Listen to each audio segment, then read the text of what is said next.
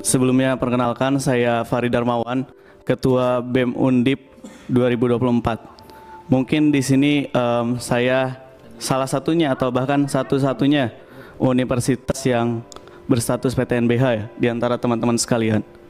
Dan sebetulnya em, kalau kita merujuk atau melihat kepada apa itu pendidikan sendiri pun juga kepada konvenan internas HAM internasional yang pada saat itu dilaksanakan di tahun 1966 yang mana di sana berbicara terkait ekonomi, sosial, dan kultural atau biasa kita sebut dengan ekosob yang mana diratifikasi oleh Indonesia sendiri di Undang-Undang Nomor 11 Tahun 2005 jika ka- kita lihat bersama kurvanya itu terus meningkat gitu.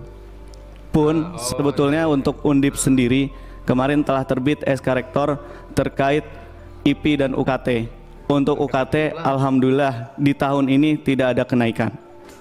Tetapi di tahun sebelumnya tahun 2016, 2020 dan 2023 tahun kemarin terakhir itu sempat terjadi kenaikan di beberapa fakultas.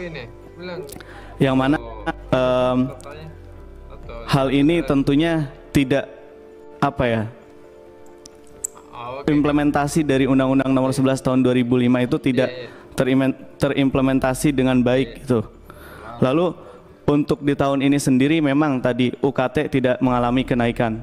Kenaikan itu dihadirkan melalui IP.